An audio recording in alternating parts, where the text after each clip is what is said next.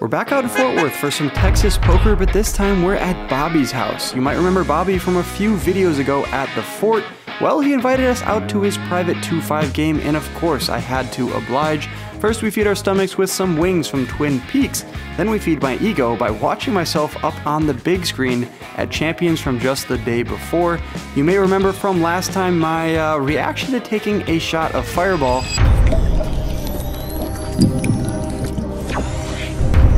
The end there, we just hit some hands. We had aces, and then... But this time I had to prove my worth and took one without shedding a single tear. Huge accomplishment. I know we buy in for $1,000 into the 2-5 game here at Bobby's.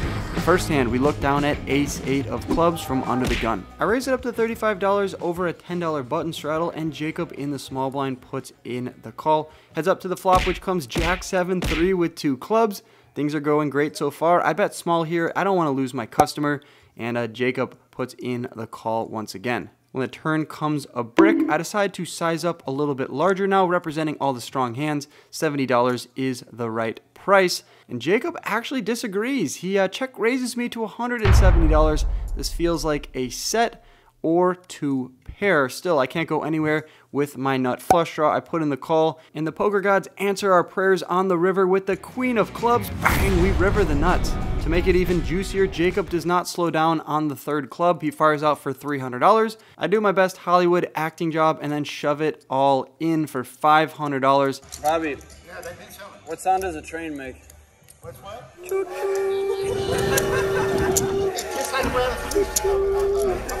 It's 200 more for him to call, which he does with pocket kings. He didn't have the king of clubs in his hand. Still, he puts in the money and I got invited to this private game and I like to give action, but it turns out the only thing we're giving out tonight is bad beats. I love poker, you know. whatever, whatever. and I love poker, you know, whatever. Right, hand number two, we have ace four of clubs this time from under the gun. I have $1,800 in my stack. I make it $20 to go. We are going to get three callers, which means we are four ways to the flop, which comes 885 rainbow. The action checks through, bringing in the King of Hearts on the turn. King of Hearts is going to be good for my range. I'm going to have King Queen, Ace King, Pocket Kings, all that good stuff. And when no one bets the flop or turn to me, I'm going to take this initiative and fire out for $40. Bobby puts in the call. He does have home court advantage after all, and we are off to the river, which comes the 10 of clubs. Bobby's not going to let me go for a bluff. Instead, he leads out for 150, and this kind of feels like a bluff in my opinion. He could have hands like queen jack of spades or hearts. Any other heart draw would be that. He could also have like 9 7, 6 7 for an open ended straight draw. I beat a lot of hands. I'm tempted to call you here. I don't have a good hand though. And I also believe in the saying you gotta give action to get it. So I'm gonna call loose here with ace high. And if we win against a bluff, that'd be pretty sick for the vlog. And if we lose, it's going over to Bobby, and he's a good dude. So I put in the call, and he turns over 7 8 of diamonds for flop trips, gets the max versus me, and taking down that $460 pot. Nice hand, Bobby. I put the $10 out there on the button like everybody else has, and a bunch of limps over to me, so I make it $60 to go. We're going to get two customers, and the flop comes 10 high, 10 5 deuce with two clubs. When the action checks over to me, I check behind, bringing in the four of diamonds on the turn. Checks to me for a second time, and this is way too passive and small of a pot. I fire out for $90, and they all fold. Easy game. All right, hand number four. We're going to raise up ace five of clubs now from the cutoff over a $10 button and a bunch of limps. I make it $40 to go. Two players call, so we're going three ways to a flop, which comes 6-3-3 with two hearts. The action checks to me, and instead of checking behind like I did in that last hand, I decided to go for a c-bet on this board because it's pretty, pretty dry, and uh, both players fold their cards. Gentlemen, if you're inviting me to your game, and I'm just able to c-bet liberally and take these pots down on the flop and turn, it's to be a long night for you. I highly suggest someone takes a stand. All right, we look down at ace-10 offsuit from the low jack, and I decide to call and open from the gentleman to my right. But hold on, we have the ace of clubs once again. It seems like every other hand we have the ace of clubs. Who's shuffling these cards? We're going to need a wash. I mean, I'm not complaining as long as I'm taking down these pots, but ace of clubs, like four out of the first five hands, that's pretty crazy. All right, we are going to go five ways to the flop, which comes 10, 9, 9 rainbow. We flop ourselves two pair with a pretty great kicker. Kevin fires out for $25 and I immediately raise him. Want to get value versus worse tens and I think a 9 will play pretty face up. We can also check back on the turn, get to a free river, all that good stuff. When I raise him, he puts in the call and the turn comes a boat, the 9 of diamonds. And now Kevin just leads out into us for $100. This kind of smells like a 9, but that's so rare. There's only one 9 left in the deck. So we also could be doing this with pocket 8s, pocket 7s, some sort of 10 that is now chopping versus my hand. I put in the call and we go off to the river, which comes the King of Diamonds. Not a great card because now if he has King 10 suited or offsuit, he has a better boat. But he makes it such a cheap price, $100 into the $400 pot. And to make it even better, he offers me a little side game. If I want to pay him 25 bucks, I can choose one card to flip over of his. If I pay him 100, he'll flip over both. So you see just $25 to see one, it costs you $100 to see both. That oh. one. That one? Yep. That one. That is an interesting card. I pay him 25 and turn over the 10 of spades. I mean, does he have 10-9 suited or offsuit, king 10? Those are all the hands I'm losing to.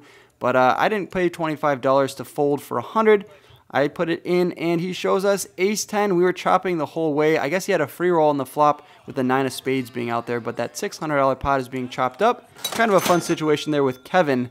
I mean, he easily could have had 9-10 or king 10. Let's go. All right, we're going to take ace 6 of spades, five ways to the flop from the small blind. I flop myself two pair and lead out for $10. We only get one customer. It's Merch from Under the Gun, a vlog watcher here from Fort Worth. We're to go heads up to the turn, which comes the ace of clubs, giving me a better two pair. I decide to slow down on the third club. If he has a four or two clubs in his hand, we're just smoked. I check it over to him and he checks behind, bringing in the queen of diamonds on the river. Could go for some thin value here, could slow down and check. I check, he bets $35 and I put in the call. He said, nice call. He was trying to bluff me for the vlog. Well, merch. The bluff didn't work, but you still made the vlog there, buddy. 9-8 of hearts. Not to do it. $140. Ship it over to me, dealer. Let's go. Ship it. Ship it. I never film my PLO hands just because they're an insane amount of work for my editor, Lucas, but we uh, end up scooping a $1,500 PLO double board bomb pot with Boat Boat. You're just to have to take my word for that one. But uh, not for this one here. We looked down at Ace Jack of Hearts from the straddle. I say the straddle, but we're on the button for $10. We see a raise to 25, a few callers over to me, and of course, with last action here, I have to raise it up with a premium Ace Jack of Hearts. is good enough for 125. Are we going to get any customers? Yes. Lee over there, our good buddy on the right, he is going to put in the call. He's a fun player, and we are going to go heads up to a flop. If Bob Barker says the price is right, well, I'm to say the flop is right in this one. Queen, Jack, Jack, bang, we flop trips. Lee checks it over to me, and I think you could play this one of two ways. With uh, no flush draw available on the flop, you could check behind, having essentially the nuts, or you could bet small here, try to induce, and build the size of the pot further. I go for the second route, firing out for 75, and uh, it didn't work. Lee folds his cards, kind of a bummer there. I toss it over to him to let him know he can look at my cards, but he's such a gangster, he doesn't even want to see the trips, pushes it back over to the dealer. All right, what would a home game be without the bullets? Pocket aces from the low jack. I make it $60 to go over a bunch of $10 passive limps. We gotta punish those limpers, as someone once said. And they didn't limp for $10 to fold for 50 more. If it's good for 10, it's good for 60. Uh, isn't that right, Bobby? He puts in the call, and that's going to bring in two other players going four ways to the flop. Flop's not great, though. It comes king, king, jack. Any king now has a smoke. Pocket jacks does as well, although I don't really think these hooligans have pocket jacks in this exact spot. The action checks over to me, of course I'm going to check behind here. I'm either way ahead or way behind. The seven of clubs peels off on the turn, really shouldn't change anything. And Lee now goes all in. When Jacob puts in the call, that kind of seals my fate here. I might have called Lee's jam, but when Lee and Jacob are both in there and they want to risk their entire stack, and play for stacks to be exact. I am not going to do that with my two pair. I make a pretty disciplined fold here with pocket aces. Doesn't feel good, but uh, something does not smell right in this hand. When it's all said and done, Jacob has king queen offsuit and is taking down the $900 pot. So it's nice to see a run out there and know that we made a great fold. Few more hands to go. Ace king of diamonds this time. We're gonna raise it up to 40. Put it in your pussy.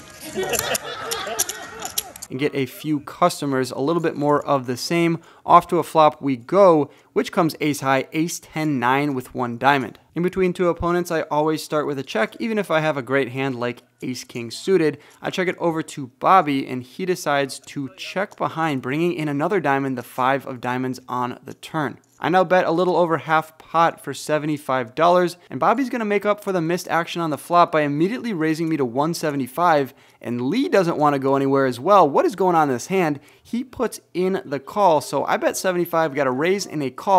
I have top pair, which might not be good on its own, but I also have the nut flush draw to go along with it. Do I just rip it all in, having these guys covered? Do I just call? I decide to go for that route, just putting in the call here and the river card comes a brick. It's the three of hearts. Lee checks. I check it over to Bobby, who bet that 175 on the turn, and he continues now for 350. Lee is done with the hand, folds his cards, but uh, I'm not done with it. I didn't check the flop to fold on this river. I played it sneaky, so I'm going to pay off Bobby here if he has a two pair type of hand, which it kind of feels like. So I put in the call. Bobby turns over a pair and a busted flush draw. Imagine the river is just like the seven of diamonds. We would have got stacks in.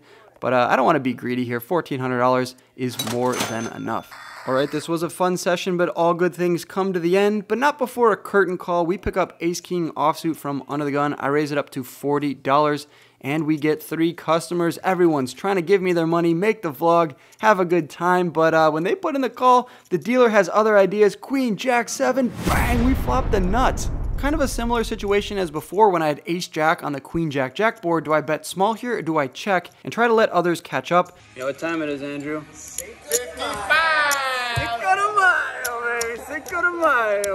I go for a small bet once again. Let's see if it can work out a little bit better this time. I fire out for $55. The action folds around to Lee.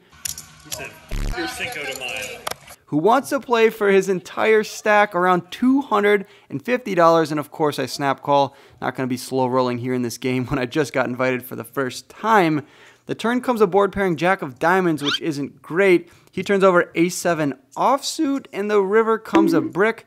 We're taking down that nearly $700 pot to cap off the night. Huge shout out to Bobby and the guys for having us out here. And uh, even though I booked a big profit in this one, hopefully in the future I get an invite to come back and punt some money back to the boys.